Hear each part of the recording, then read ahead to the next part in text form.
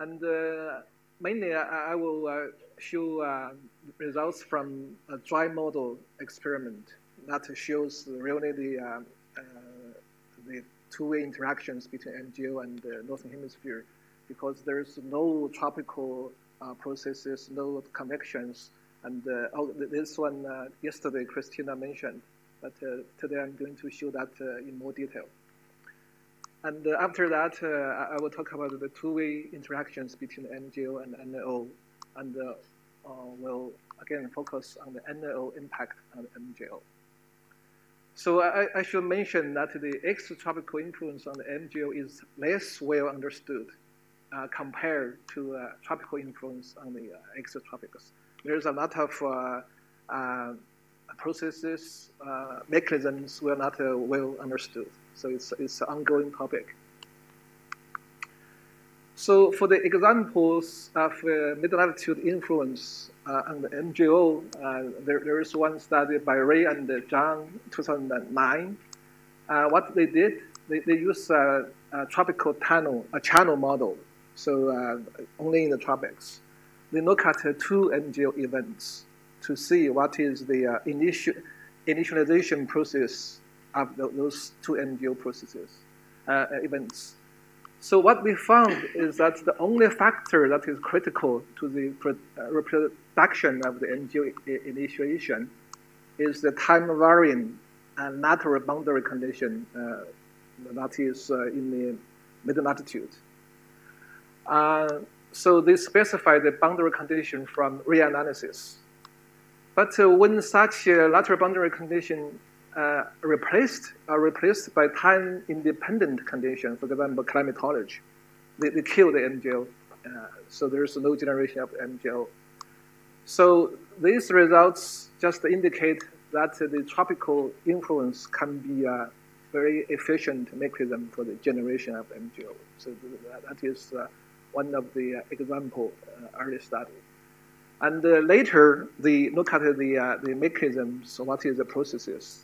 They, they look at the momentum transport, and they, they found that the momentum transport from the mid-latitude uh, has a big contribution to the MJO initialization. Another example is uh, by Hong et al. Um, that's a very recent uh, paper. Uh, they look at the extratropical forcing of 2015 MJO and uh, El Nino events. And they found the, the southward penetration of the northern wind uh, that, that, is, that is from mid-latitude uh, propagated to the tropics that uh, uh, the generation of uh, MJO and, and El Nino in this, this period. And later, Nick Hall, he will talk about more examples and the study his study on the uh, mid-latitude impact on the MJO. So now I, I will switch to talking a little bit more detail about uh, the uh, tropical, extratropical interactions in a dry GCM. So the model uh, we use is a primitive equation, atmospheric uh, GCM, and that was uh, uh, developed uh, by Nick Hall. Uh, I'm glad he is here this time. I, I, think he will describe in more detail this model tomorrow. And uh, this model uh, is a T31 and uh, 10 levels model. is quite low resolution, but able to capture the large scale phenomenon in the atmosphere. And the special in this model is it has a time independent forcing and that is calculated empirically from the uh, reanalysis, long, uh, uh, long time, day-to-day analysis. So this time-independent forcing is to maintain in the model a winter climatology. So that means the model, if you run a long time, you do the climate, the average, uh, you get a very uh, similar uh, climatology to the observation. And also not only the time mean, but also the, the transients the variabilities. So because it's time-independent forcing, uh, no other uh, variation in the forcing. So all the variabilities generated in this model come, come from the uh, internal dynamics of the model itself. So what you see is mainly the, for example, the, the uh, baroclinic instability in the mid latitude uh, that, that will uh, is main part of the variability in the model. Now, there is no moisture and no interactive convection, so it's uh, it's a dry model. So what we did, we ran the model for 3,600 uh, days.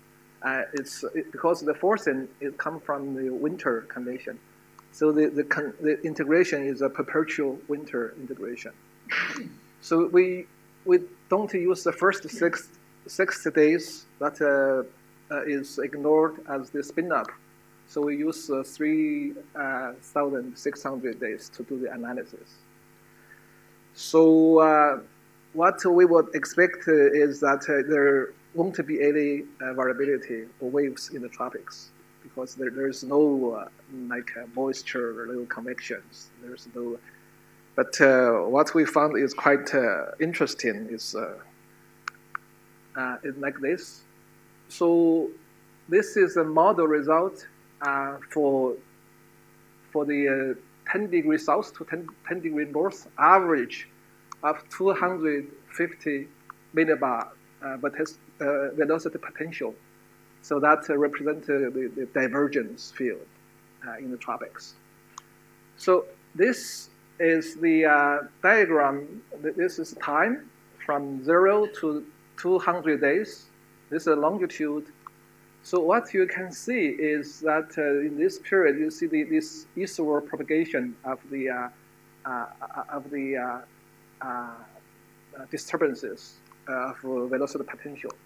So the propagation is eastward, and this is another period from. Okay, so not working. Uh, it's okay. I just if you have. All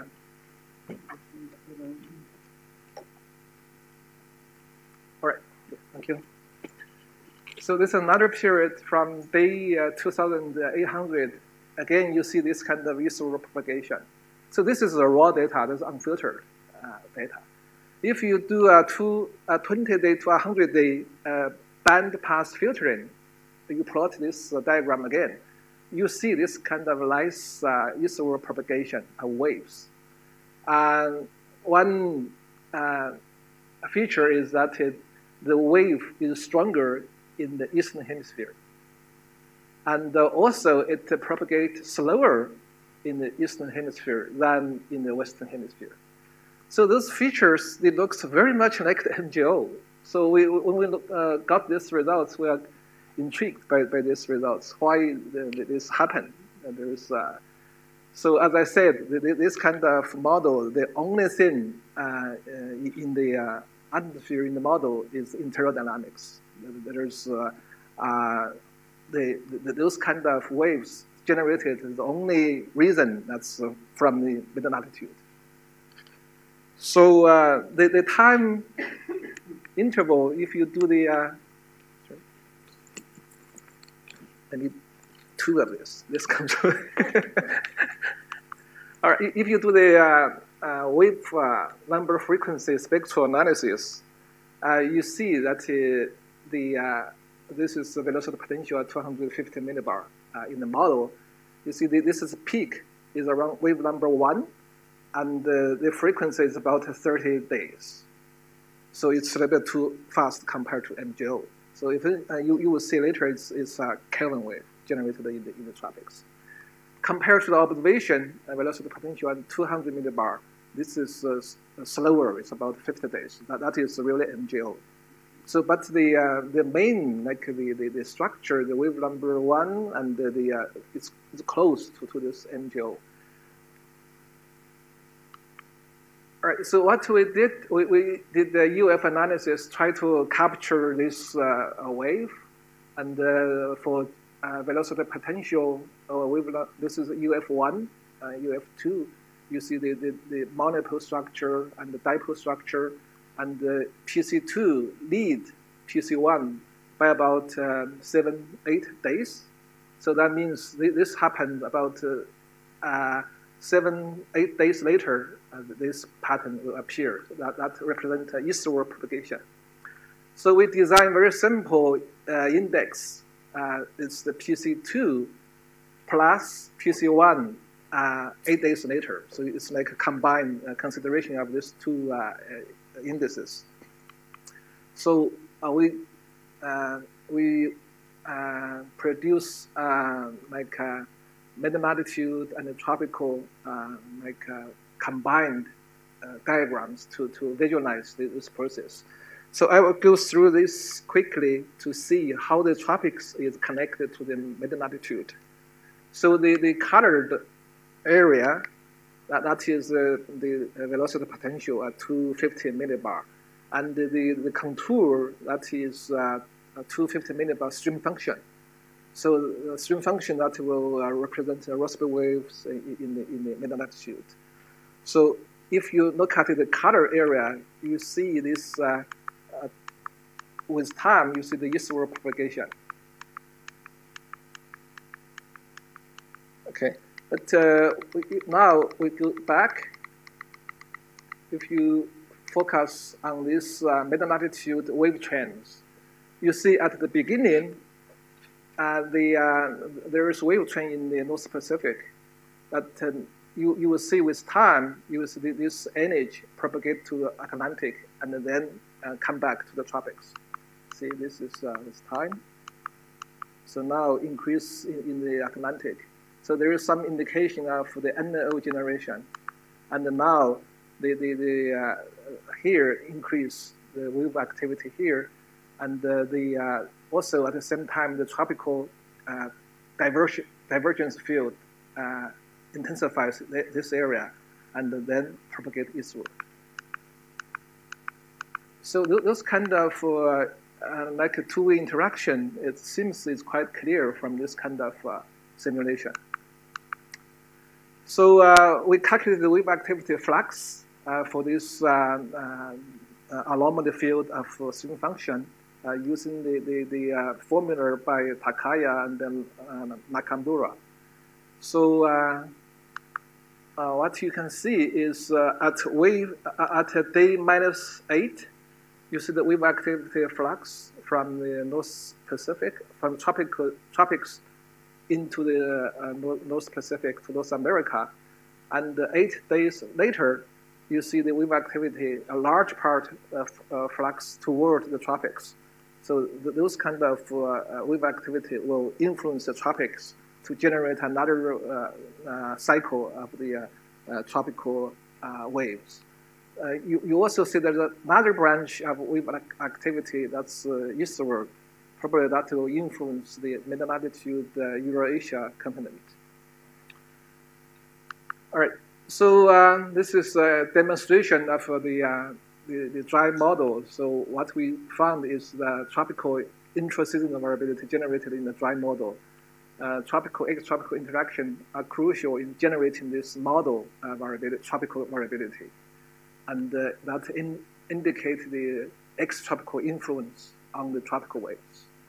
So the remaining question after this study is um, the contribution from moisture and convection.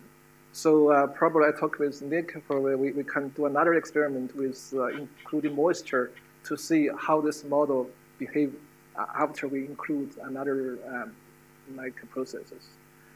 And for the mechanism is uh, how do uh, extratropical large-scale dis disturbances that uh, are equivalent barotropic uh, propagating the tropics to generate tropical waves. That's a baroclinic. So th th this is an area is not uh, very well understood. And right now, uh, we are doing some kind of theoretical work to, to understand how this, this interaction happens. there's two different kind of waves. they can be influenced to each other. All right, so uh, now, I, I, will switch to another um, topic. It's not topic, it's related. It's the MJO and the NAO uh, uh, interactions. Uh, it's based on uh, earlier study and also uh, David mentioned also. So we use the NAO index, and that is uh, pentad average. So that's five-day, five-day average. And the, the MJO index is the Wheeler and Hendon index. So we also have the penta to penta uh, average. And the, the purpose is to look at the intra-seasonal variation of MJO and NAO, how they are like correlated and uh, connected. So uh, we look at the, winter, uh, oh, sorry. We look at the winter uh, period. So because the, the, the, the interactions and the uh, wave activity, Rossby wave generation is strong uh, in the winter season. All right, so this shows the eight phase, phases of the MJO, uh, phase one to eight, and uh, equatorial region from 15 south to 15 north. So what we can see is uh, phase one, you see the uh, anomalous uh, precipitation generated in the western Indian Ocean, and that propagate eastward. So I want to draw your attention to the phase two, phase three, and the six and seven. That is when there is a convection dipole structure, the enhanced precipitation in the Indian Ocean and then reduced precipitation uh, in the uh, Western Pacific. It is in those uh, phases that will influence mid latitude the most. Uh, the phase two, three, and six and seven, they are just opposite.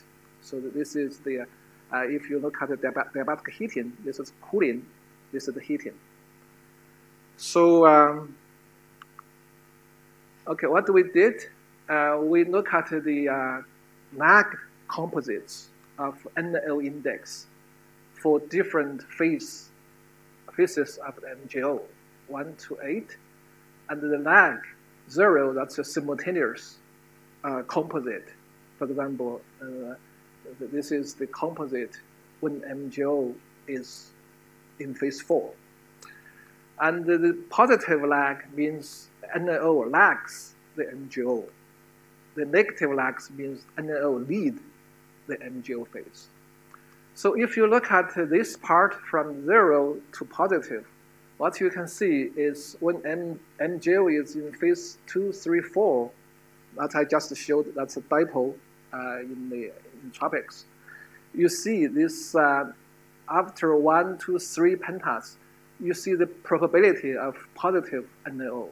So th those numbers, they are 95% uh, statistically significant those um, white area is not, is not statistically. I didn't uh, plot.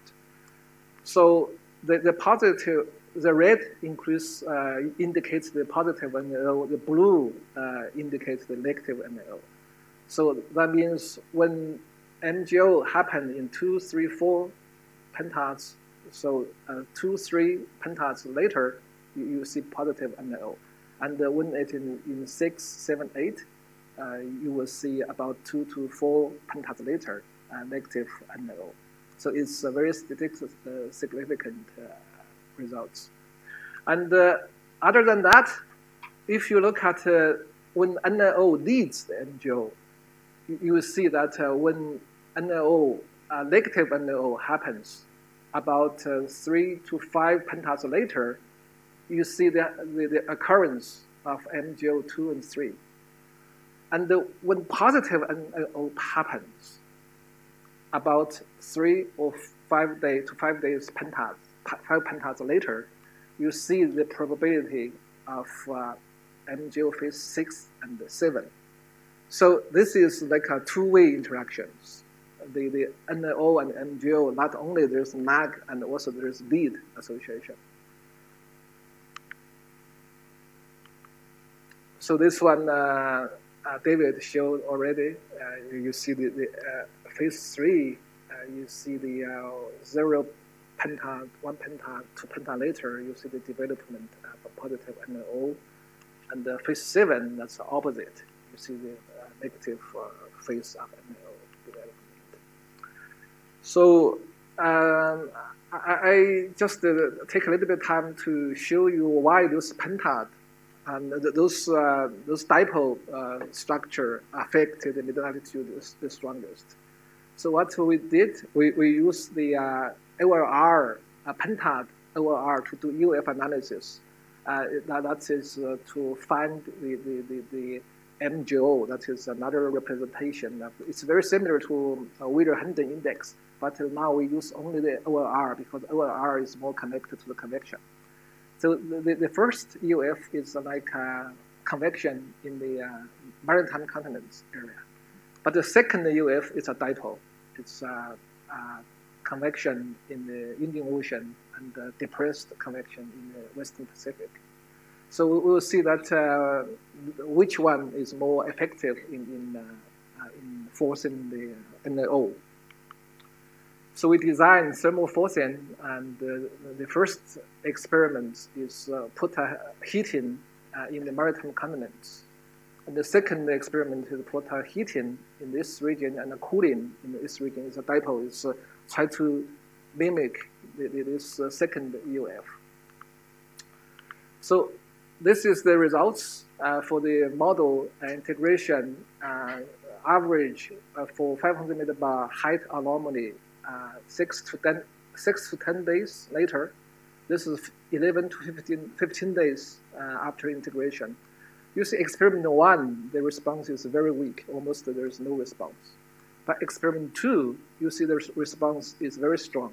And you, all, you do see there is indication of uh, positive NAO. Uh, all right, so uh, to, to understand this, we did a lot of experiment to put this heating at different locations to see which one is the most sensitive location uh, for this response.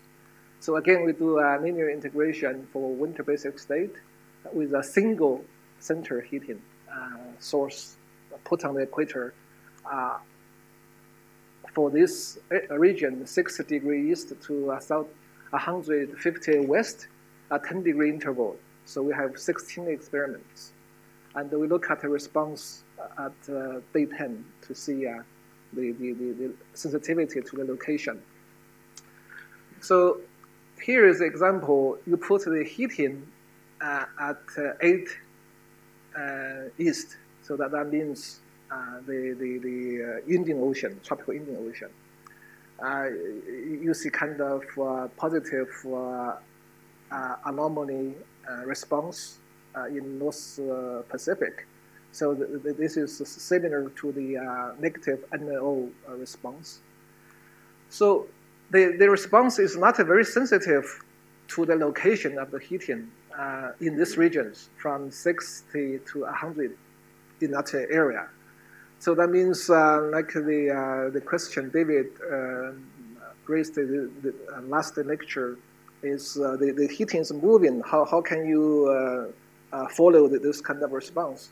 But it's not really sensitive to the to the location. So in these regions, the, the response is is very much like this pattern. when you put the heating at 110 degree, that's near the maritime continent, there's almost no response. It's very weak. But when you put the heating at uh, east of this uh, area, uh, the response is very similar to this pattern. So it's not very sensitive. But uh, if you compare this pattern with this pattern, you can see they are almost opposite. So the, uh, the, the, response, uh, if you put the, the heating in this region and this region is opposite. But as you, you see for the uh, phase MJO phase 3 and phase 7, they are dipole. There is heating and cooling.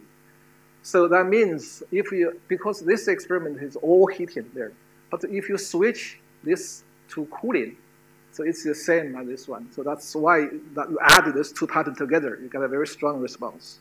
So that, that that's uh, why the, the, uh, the, the response to MJO phase 3 and phase 7 is the strongest.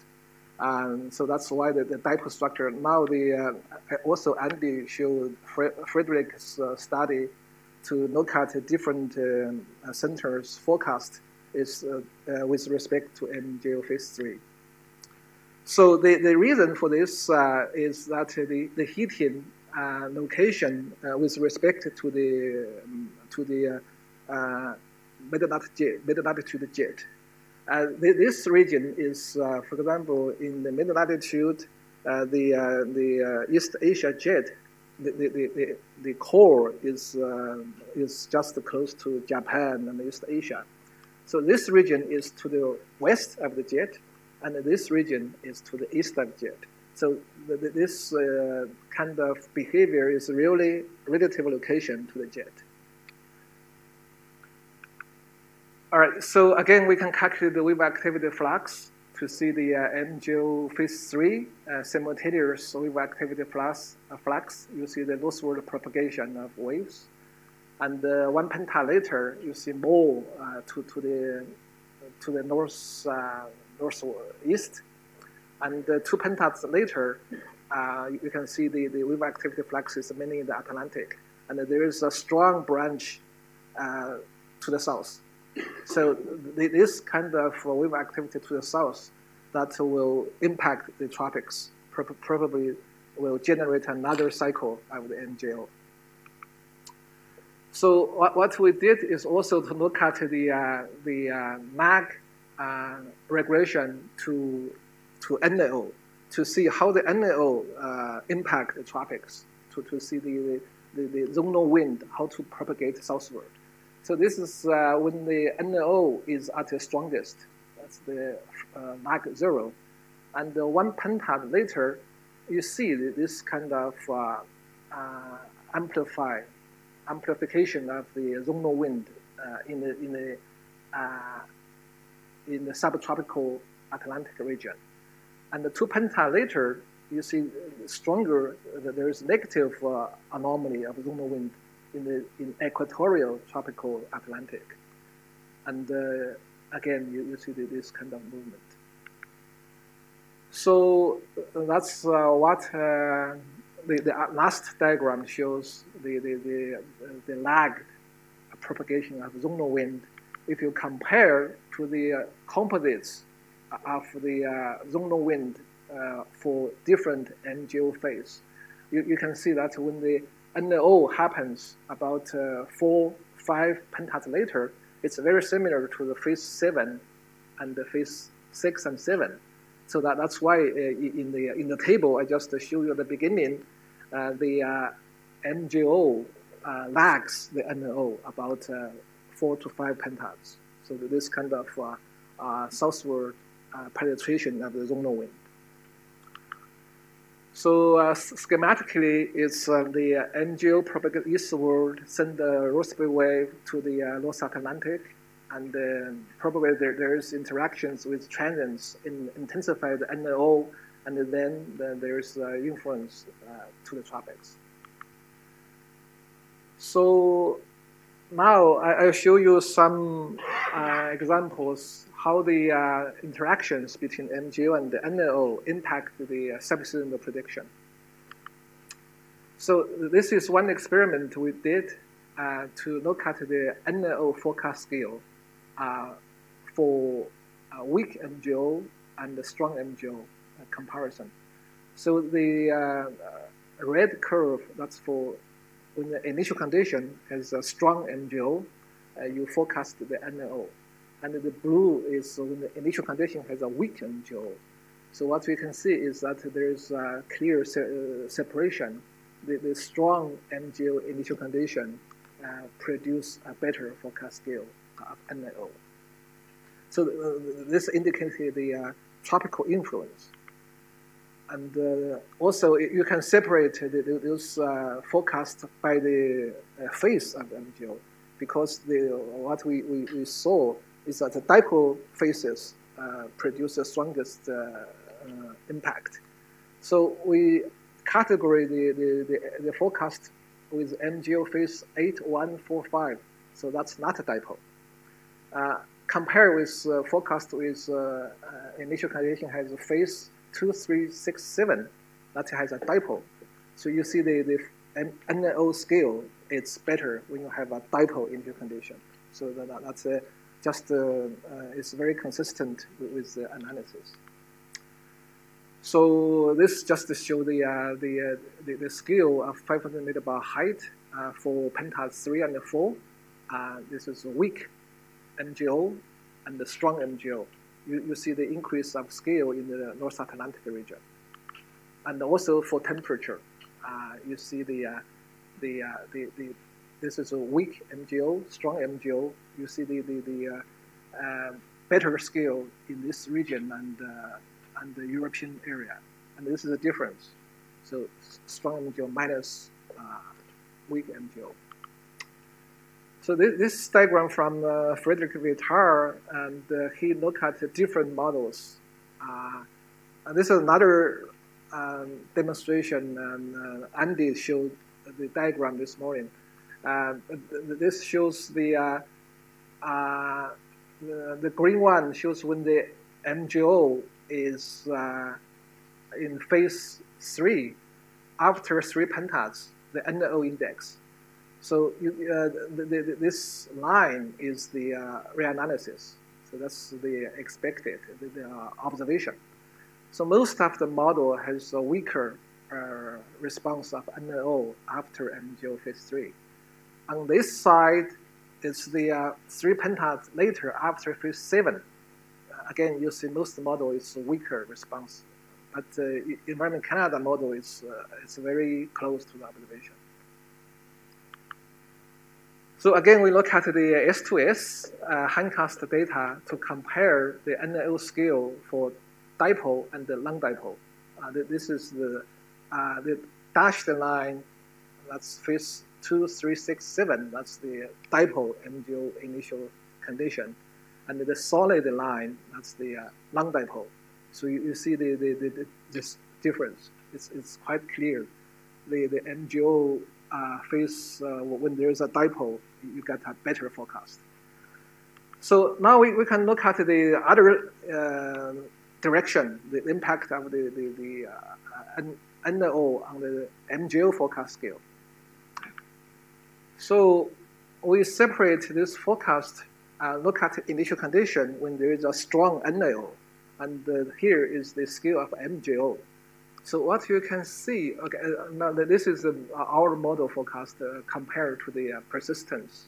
The MJO, uh, there is scale compared to persistence.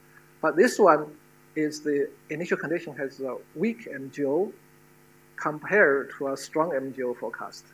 So the, the, the bar, that's, we have a lot of ensemble members. So there's some period that are well separated. Uh, you can see it's in the first 10 days, there's almost no difference. But after 10 days, you see strong NAO forecast, the scale of MJO is better than, than weak uh, NAO. So uh, because you, you see the lag um, at the, this table uh, is about uh, two, uh, three to five pentads. So that, that means the, the impact is uh, appear after 10 days. So this really indicates that uh, the, the mid-latitude uh, signal uh, has uh, impact on the MJO forecast scale. So there, there is a two-way interaction. So now we look at the, the scale distribution for 200 millibar uh, zonal wind uh, scale uh, near the uh, tropics for strong NAO. Uh, you see that this scale, there's uh, quite a lot of scale uh, in this band, in the tropics. But when you initialize the forecast with weak NAO, the tropical zonal wind scale, there is a lot of places is not as good as this one. This is the difference. So this is the increase of scale if you have a strong NAO uh, in the tropics. Okay, this one is the uh, average of scale between uh, 0 and 90. So that's mainly just the south of the, uh, the uh, North Atlantic Oscillation, and the impact uh, in, the, in the tropics. So this is zonal wind. I think this is uh, near the equator. Oh, no, not equator. This is as a function of latitude.